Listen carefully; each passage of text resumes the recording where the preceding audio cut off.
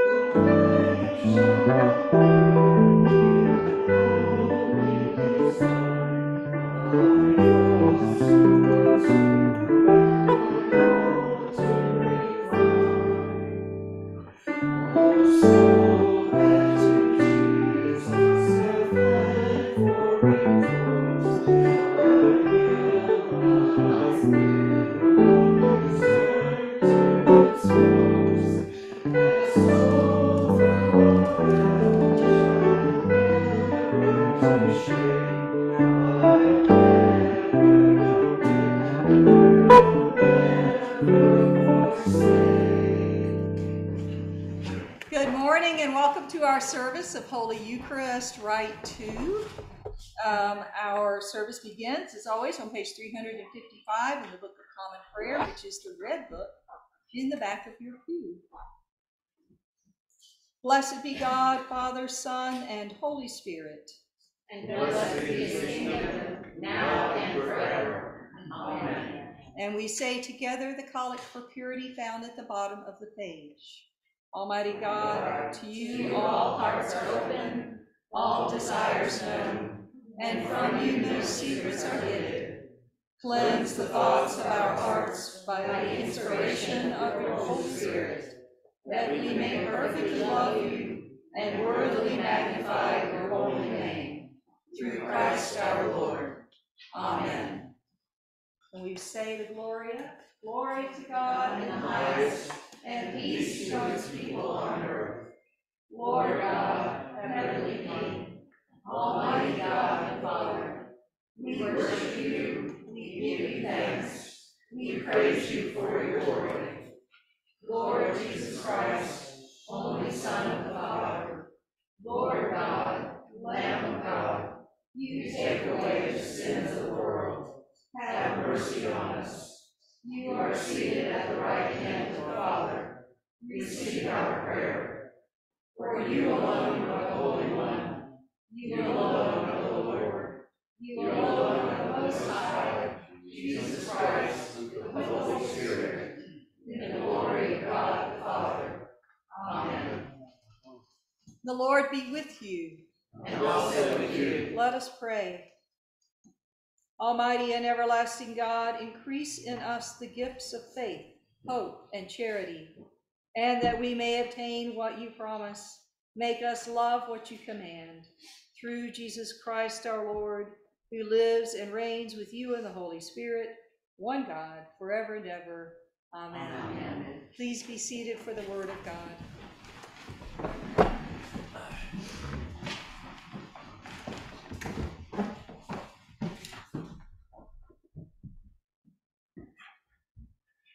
A reading from the book of Sirach.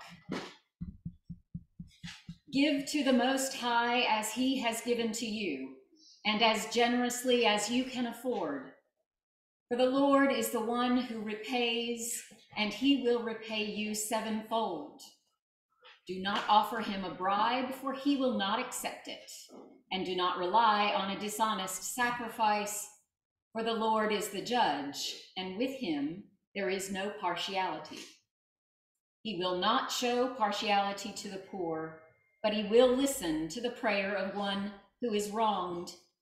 He will not ignore the supplication of the orphan or the widow when she pours out her complaint. The word of the Lord. Today's psalm is Psalm 84, verses 1 through 6. Join me in reading responsively by whole verse.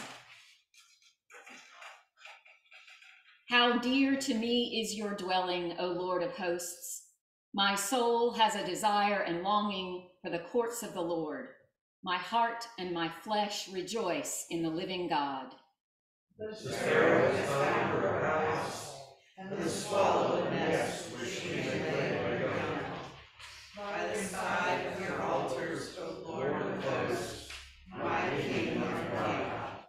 Happy are they who dwell in your house. They will always be praising you.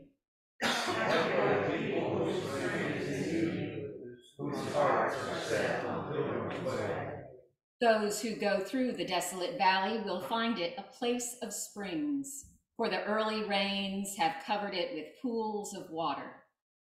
They will climb from height to height, and the God of gods will reveal himself in Zion. A reading from the second letter to Timothy. I am already being poured out as a libation, and the time of my departure has come. I have fought the good fight. I have finished the race. I have kept the faith. From now on, there is reserved for me the crown of righteousness, which the Lord, the righteous judge, will give me on that day, and not only to me, but also to all who have longed for his appearing. At my first defense, no one came to my support, but all deserted me. May it not be counted against them. But the Lord stood by me and gave me strength so that through me the message might be fully proclaimed and all the Gentiles might hear it. So I was rescued from the lion's mouth. The Lord will rescue me from every evil attack and save me for his heavenly kingdom. To him be the glory forever and ever. Amen. The word of the Lord. Thanks be God.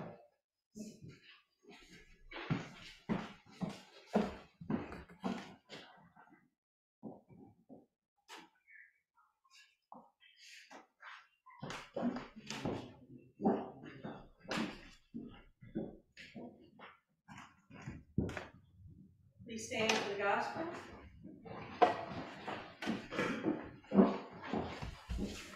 Halle, halle, halle,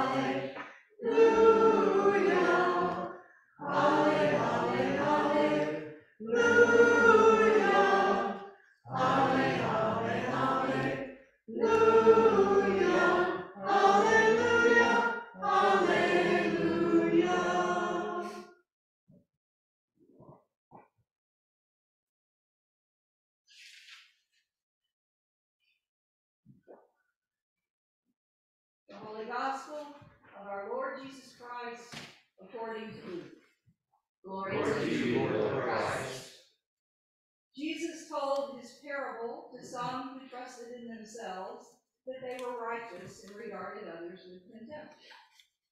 Two men went up to the temple to pray, one a Pharisee and the other a tax collector. The Pharisee, standing beside himself, by himself, was praying thus, God, I thank you that I am not like other people, thieves, rogues, adulterers, or even like this tax collector. I fast twice a week. I give a tenth of all my income. But the tax collector, standing far off, would not even look up to heaven, but was beating his breast and saying, God be merciful to me, a sinner. I tell you, this man went down to his home justified rather than the other. For all who exalt themselves will be humbled, but all who humble themselves will be exalted. This is the gospel of the Lord. Praise to you, Lord Christ. Halle, Halle, halle, Hallelujah. Halle, halle, hallelujah. Halle, halle, hallelujah. Hallelujah. Hallelujah. We come together in the name of the Father, and of the Son, and of the Holy Spirit, to seek God's will for us in community. Amen. Please be seated.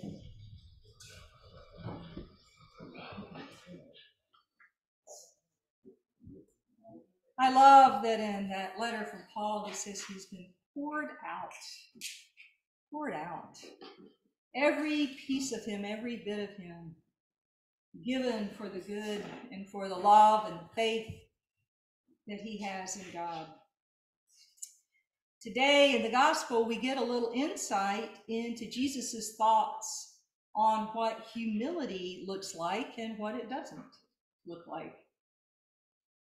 We have already gotten more than a few examples along the way of the disciples comparing themselves to one another in a one upmanship kind of way, So maybe when it said he told this parable to those who exalted themselves a little bit, who thought that they were better than others, he's addressing some of that still going on. Uh, we can't really know. It said some people who thought that they were better, you know, in other words. But some of the prayer of the Pharisee uh, sounds like that kind of thing, especially at the end, doesn't it? But much of his prayer is actually really fine in that day and time. He tells what he does, and he is grateful for those things that he is not. So when I cough, I'm letting you know this is still because of the tube that went down my throat for the surgery. so just just so you know. Having done two services, I'm finding out that the 14 days they said it took to recover is really true. I have three more days in that list. So, uh, but much of much of his prayer is actually kind of fine. For that day and time, this was an appropriate prayer of thanksgiving and gratitude. He messes up at the end. So let's take a look at that. Richard Swanson uh, points out some of the positive acts of the Pharisees because we're really used to like really blaming the Pharisees for everything and saying that they were bad people and they tripped up Jesus and they did all this kind of stuff when many of them did not. You know, Luke's gospel has kind of a mixed history with that. But so some of their positive acts were that they preserved faith in God even under the crushing force of the Roman military occupation. And they preserved it by maintaining clarity about the way the goodness of God ought to shape all of a faithful life. And we hear that in his prayer, the goodness of God. But the Gospel of Luke, as I said, gives us this mixed picture of Pharisees because they're humans, right? And so they're a mixed bag, just like we all are. For example, two chapters before this, Jesus tells two parables about prayer.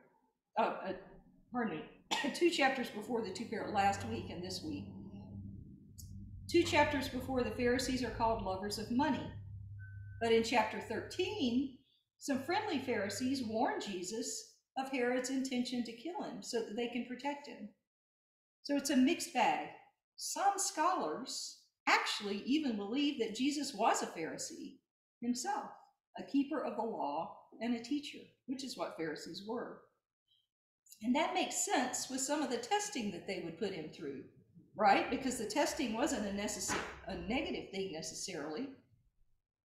It was simply a standard of practice of theological curiosity, as well as checks and balances to verify qualified teachers of the law.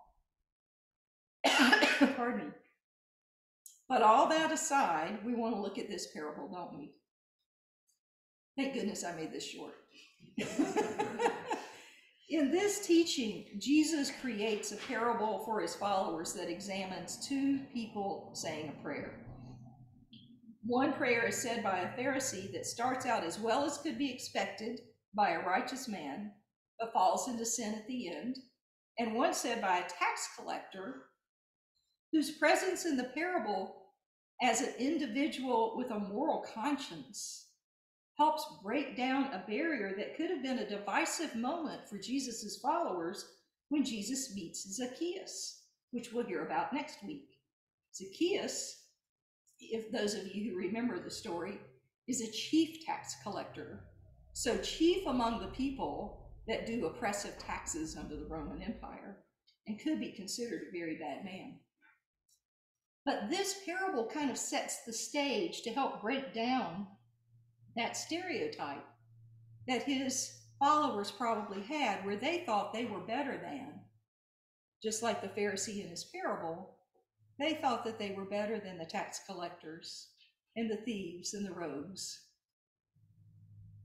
It probably helped them to see him as a human being when they met him, even just a little bit like that little bit of a mustard seed that can open up a heart. it helped them to not place on him all that was unfair in the Roman tax system as his as his burden to carry as a human. We need to remember that that encounter though has yet to happen. We haven't gotten down that road yet. Jesus is using this character in this story because he was seeing around him this inequality, this we're better than you because we follow Jesus, you're better than, you know, all of that kind of stuff. Um, tax collectors were hated in the Roman Empire. They were enforcers of economic oppression, and many of them even increased the taxes that they collected to line their own pockets. The reason for some was because they wanted to get rich, but for most of them, it was because that tax system was so oppressive that they did it to keep their families fed and out of the poorhouse, so to say. But that tax collector in this prayer doesn't lie about his part in that system. And he is remorseful. He, it is enough of a remorse, we assume, that he may change, that you can apply to that character in this parable a willingness to change and to be sad about his actions. The Pharisee is definitely living what he preaches too. He gives a tenth of his income, and this would be pre tax in that society, so you know it's definitely a true sacrifice. He even does more than required in his fasting practice by doing it twice a week instead of just one week, which was the required amount. So he is a good man. He is doing his best. He is showing up and he is trying. He does not in any way, shape, or form claim to be perfect. And he's appropriately grateful not to have followed temptation down any number of paths that would be injurious to his soul. Who knows why he included adultery on that? Maybe he was a tempted man and walked away.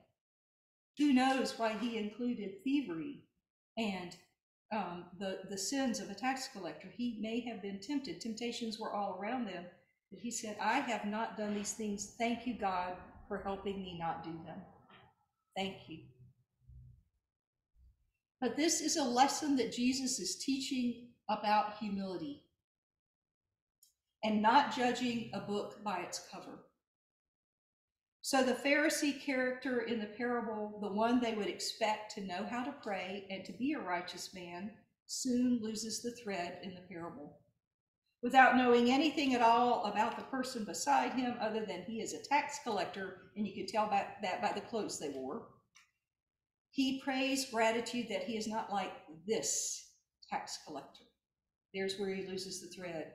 He takes it from the theoretical I have not committed adultery, I have not been a thievery person, I have not done these things, to the specific, I'm glad I'm not like Vander. You know, what if someone said that prayer? How horrifying, isn't it? It made me like feel bad just to say it out loud. He places all the characteristics of the bad tax collectors who are dishonest without even a thought that this man who is at prayer is at prayer He's not out in the world spending his ill gotten gains. He is on his knees beside him, the righteous Pharisee, saying a prayer of forgiveness and asking for God's mercy. The tax collector, is an equally flawed person, leaves off any kind of comparison to anyone else. He only prays for his own salvation. Barbara Brown Taylor says that prayer helps us remember who we are and who God is. God is merciful and loving and just. And in this story that Jesus tells, only the tax collector connects that understanding of God into his prayer life in a way that she shows he understands the truth. He banks on God's mercy and justice. Sadly, the one who should know better, the one whose whole life is dedicated to trying to come close to God, like the disciples following Jesus everywhere he goes and yet still arguing about which one of them is the best. That one is the one who seems to have forgotten that God's justice and mercy is available to all who seek it, including this tax collector beside him. Something to consider the next time I or any of us chooses to look and think there but for the grace of God about a single person rather than about a situation in life. We need to be careful. Amen. Please turn to page 358 in the Book of Common Prayer, and we will um, say the Nicene Creed together.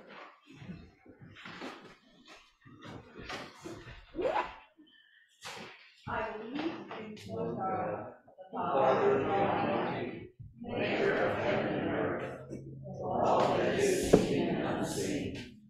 We believe in one Lord Jesus Christ, the only Son of God, eternally begotten of the Father, God from God, light from light, true God from true God, begotten, not made, of one being with the Father.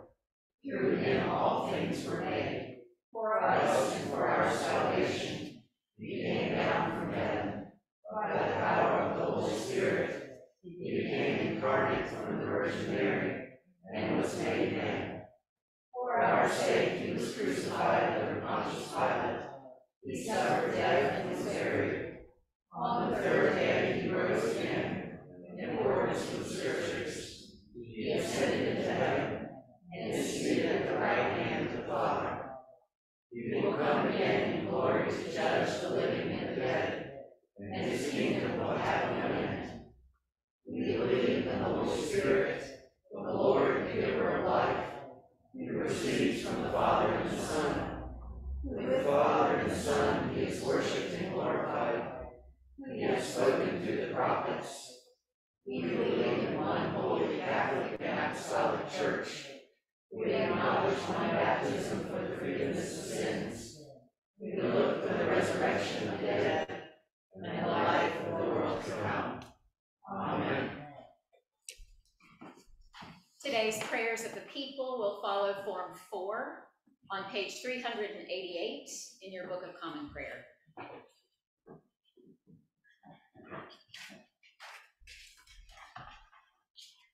Let us pray for the church and for the world.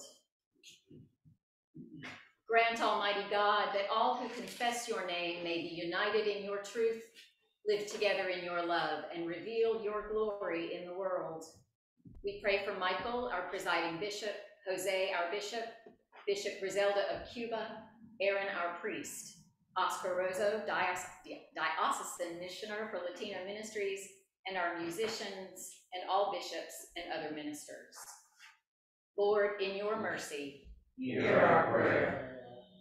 guide the people of this land and of all the nations in the ways of justice and peace, that we may honor one another and serve the common good. We pray for the Diocese of Europe, the Diocese of Puerto Rico, the Diocese of Southwest Florida, Province de L'Eglise Anglicane du Congo, and St. Luke's in Asheville, Boone, and Lincolnton. Lord, in your mercy, Hear our prayer. Give us all a reverence for the earth as your own creation, that we may use its resources rightly in the service of others and to your honor and glory. We pray for Joe, our president, Roy, our governor, and Steve, our mayor. We pray for those in our community who serve in the military, especially for Michael, Ian, Philip, Grayson, Gavin, Jared, Jade, Nicholas, Harry, Chuck, and Philip. Lord, in your mercy, Hear our prayer. bless all those whose lives are closely linked with ours, and grant that we may serve Christ in them and love one another as he loves us. Lord, in your mercy, Hear our prayer. comfort and heal all those who suffer in body, mind, or spirit. Give them courage and hope in their troubles, and bring them the joy of your salvation. We pray for those who struggle with the disappointments, with financial insecurities, with grief over lost loved ones or lost dreams. We pray for relief of pain for those whose bodies and hearts ache. And we ask for healing for all who suffer. Remembering especially in our prayers Melchor Tomas, Alan Creasman, Mother Erin Kirby, Jim Crawley, Gail Maloney, Nancy Long, Steve Duncan, Susie Lockwood, Margaret Hale, Jim and Connie Bergen, Randy Honduras, Alan Brown, Ann Allen, Kathleen Buchanan, Margot Brown Hampton, Shirley Sheehan, Sam Beckerson, Altoro Cortez, Melinda Wall, Lee Huey, Jane Copenhaver, Austin Case, David Roselle, Frankie and Angie Milliken, Jim Bates, Kevin Owensby, Christine Zellner, Gail Galloway, and all those who in this transitory life are in trouble, sorrow, need, sickness, or any other adversity. Lord, in your mercy, Hear our prayer. we commend to your mercy all who have died, that your will for them may be fulfilled. And we pray that we may share with all your saints in your eternal kingdom. We pray especially for the peace of the soul Chris Van Dyke. Lord, in your mercy, Hear our prayer.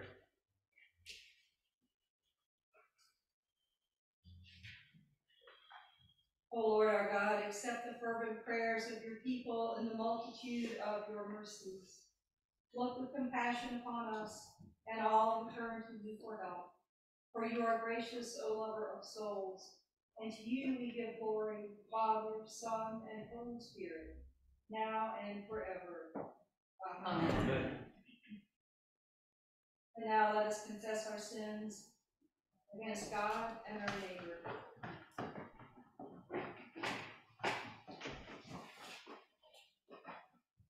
Most merciful God, we confess that we have sinned against you in thought, word, and deed, by what we have done, and by what we have left undone. We have not loved you with our whole heart. We have not loved our neighbors as ourselves. We are truly sorry, and we humbly repent. For the sake of your Son, Jesus Christ, have mercy on us and forgive us, that we may delight in your will and walk in your ways, to the glory of your name. Amen.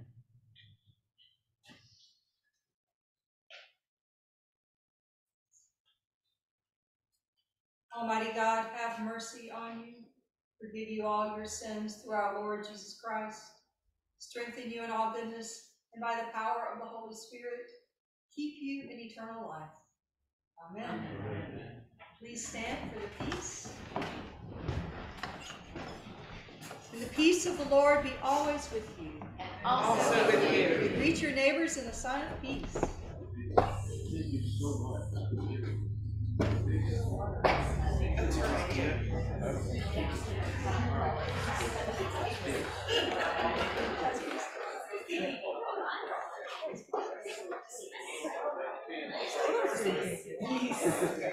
That's a feature. We're it. Peace, Vander?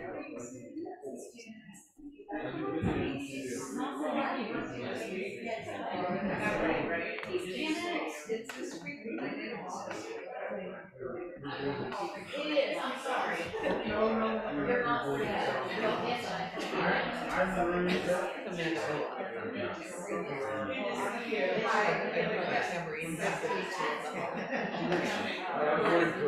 Could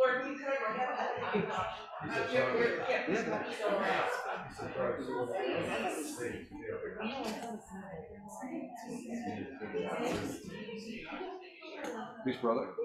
Peace. Oh, the guitar, you made that? Walnut? Walnut cedar, it's like a walnut. All right.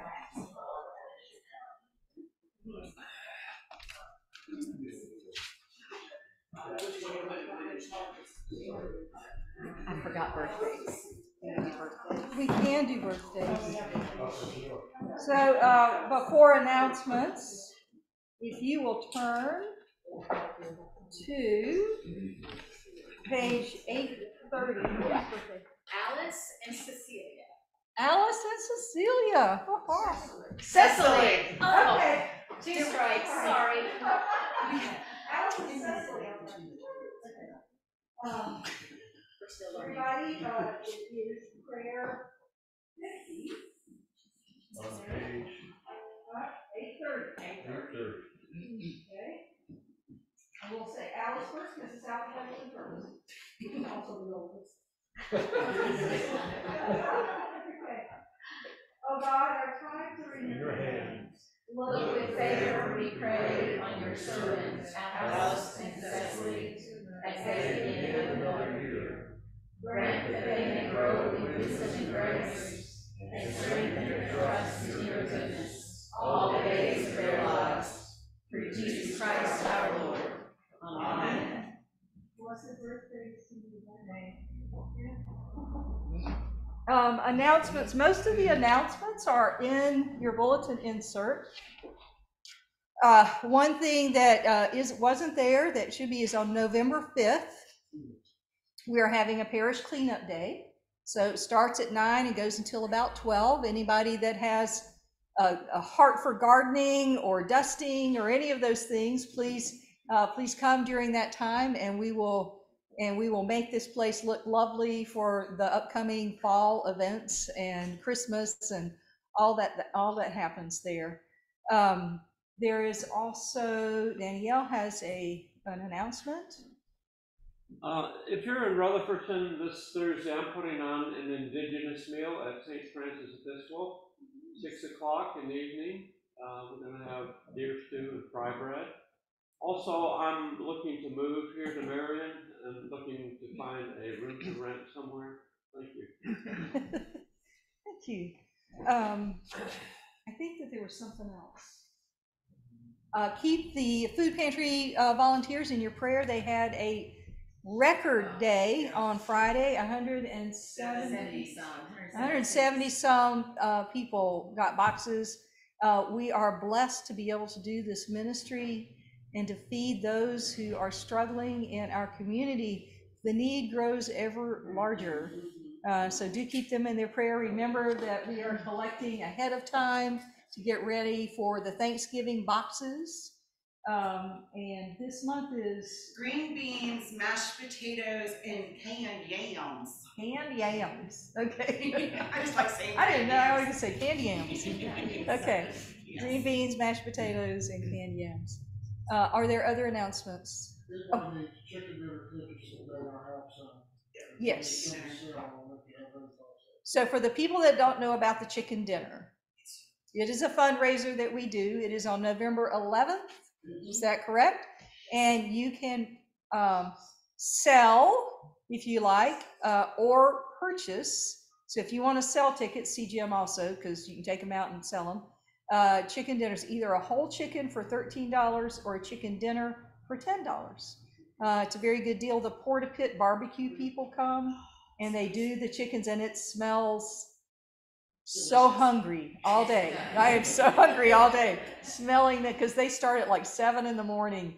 And I wake up in the morning and walk the dog and think, oh my gosh, I need chicken.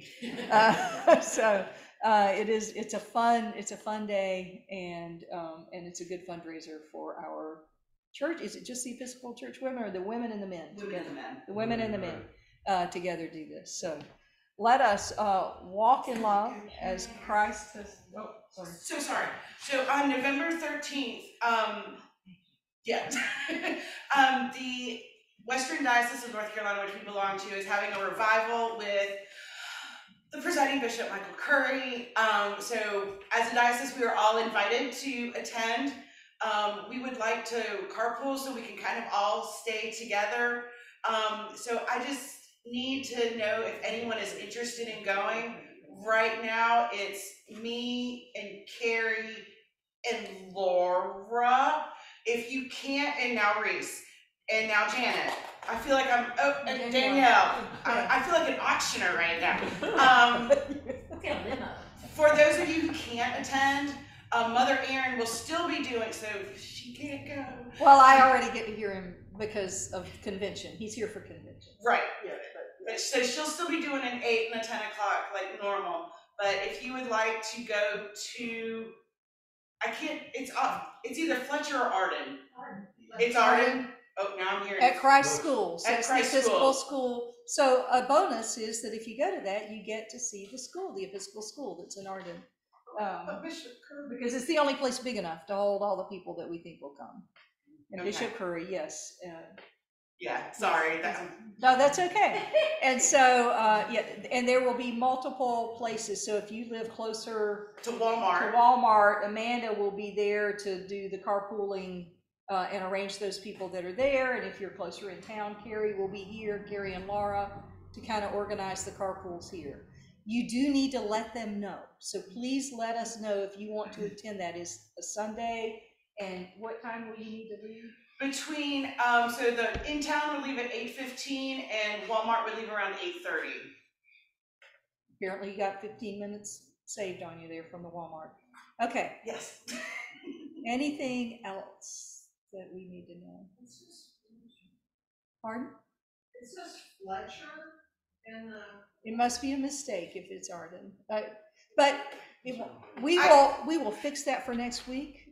I copy and pasted right from the thing, but Oh. there's two different, one says Fletcher and one says Arden, so we're gonna GPS it. And we will call. But it's off Sweeten Creek Road. And it's like that, I'd like to go, but we'll probably drive ourselves since we don't live in there. Okay. yeah, no, that's fine. I will, um, GPS, uh, GPS you the address. And so I will maybe every, Email you the address. and maybe you can arrange to like meet in the parking lot somewhere and everybody sit together. That would be fun. Fletcher and Arden are very close together. Yes, Almost Sweeten Creek Okay. Road is half Fletcher, like Okay. the right Both side's Fletcher, the right toward side's Arden. Arden's closer to us. All right, so we can do some more planning about this. Oh, yeah. And that, uh, uh, pretty soon, because we, we need to, uh, uh, do the rest of the service. Uh, I did want one more announcement. So the last time that Mike played, uh, down at the Spillway for their brunch time, uh, several of us went and it was lovely and their brunch is really good. Mhm. Um, which was gravy on getting to hear Mike, uh, play, uh, during that time and the, and the vocalist that he accompanies. It was awesome. So the next time, do you know when? I don't have one booked Okay. yet, but But when he books it again we will, we will try to go together again because it was really fun. Thank you. And we thank you. So let us walk in love as Christ has loved us as a fragrant offering to God. Thank you.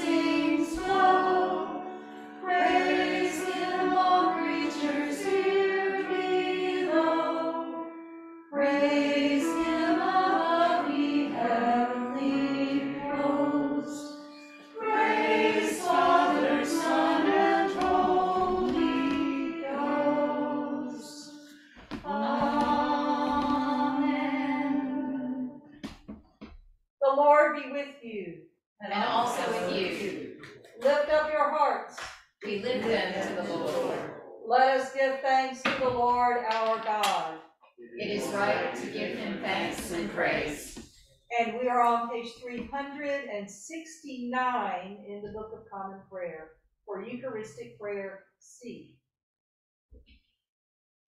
God of all power, ruler of the universe, you are worthy of glory and praise. Glory to you forever and ever. At your command, all things came to be, the vast expanse of interstellar space, galaxies, suns, the planets and their courses, and this fragile earth, our island home. By your will, you were created and had your being. From the primal elements, you brought forth the human race and blessed us with memory, reason, and skill. You made us the stewards of creation, but we turned against you and betrayed your trust, and we turned against one another. Have mercy, Lord, for we are sinners in your sight. Again and again you called us to return. Through prophets and sages you revealed your righteous law. And in the fullness of time you sent your only Son, born of a woman, to fulfill your law, to open for us the way of freedom and peace. By his blood he reconciled us. By his wounds we are healed. And therefore we praise you, joining with the heavenly chorus with prophets, apostles, and martyrs, and with all those in every generation who have looked to you in hope to proclaim with them your glory in their unending hymn.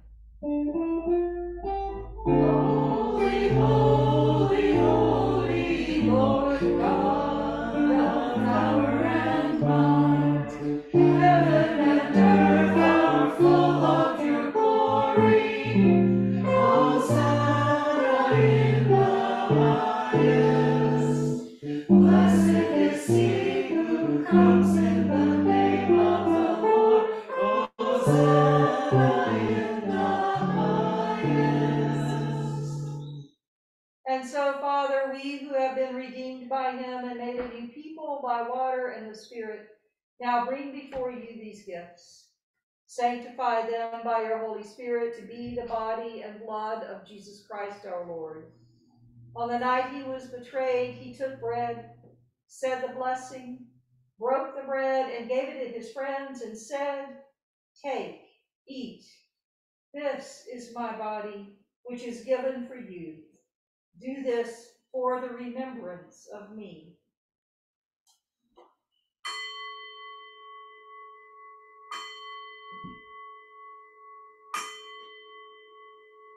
After supper, he took the cup of wine, gave thanks, and said, Drink this, all of you.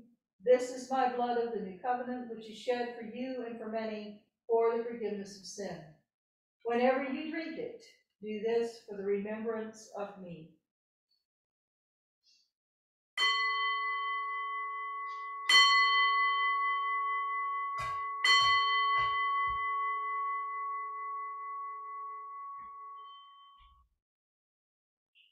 Remembering now his work of redemption and offering to you this sacrifice of thanksgiving, we celebrate his death and resurrection as we await the day of his coming.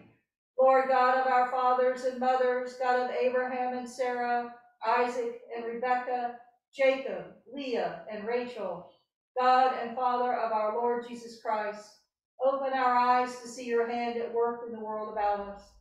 Deliver us from the presumption of coming to this table for solace only and not for strength, for pardon only and not for renewal.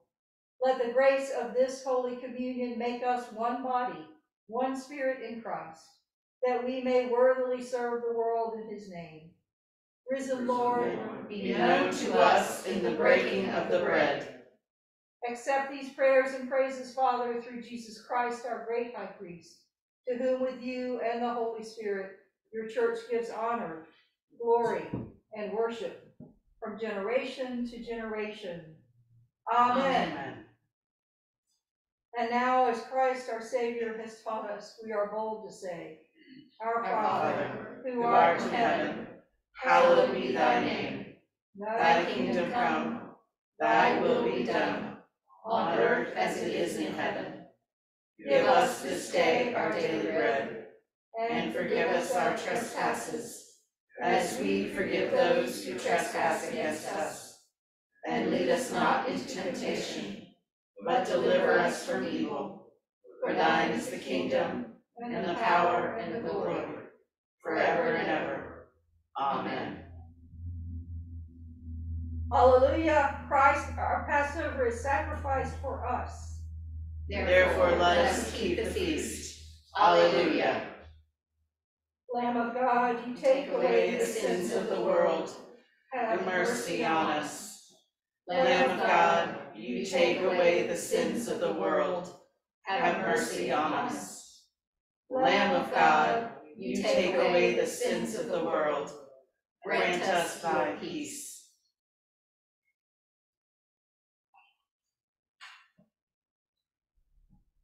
God's holy gifts for God's holy people. Take them in remembrance that Christ came because God loves you, sees you as worthy, and invites you to this table.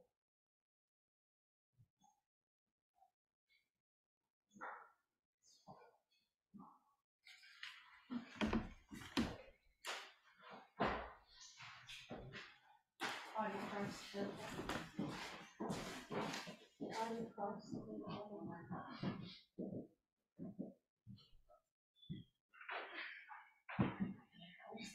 question.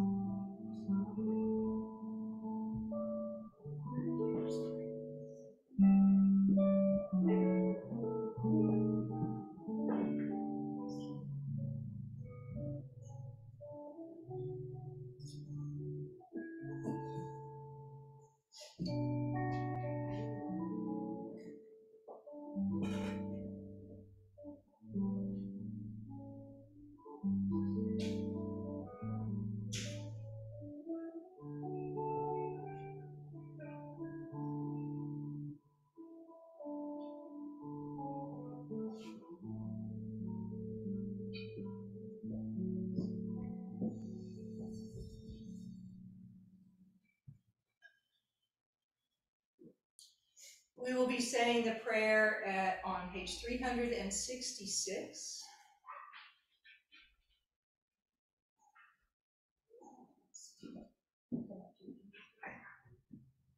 Almighty and ever-living God, We thank you for feeding us with the spiritual food of the most precious body and blood of your Son, our Savior, Jesus Christ, and for assuring us in these holy mysteries that we are living members of the body of your Son and heirs of your eternal kingdom. And now, Father, send us out to do the work you have given us to do, to love and serve you as faithful witnesses of Christ our Lord. To him, to you, and to the Holy Spirit be honor and glory, now and forever. Amen. And may today you find peace within.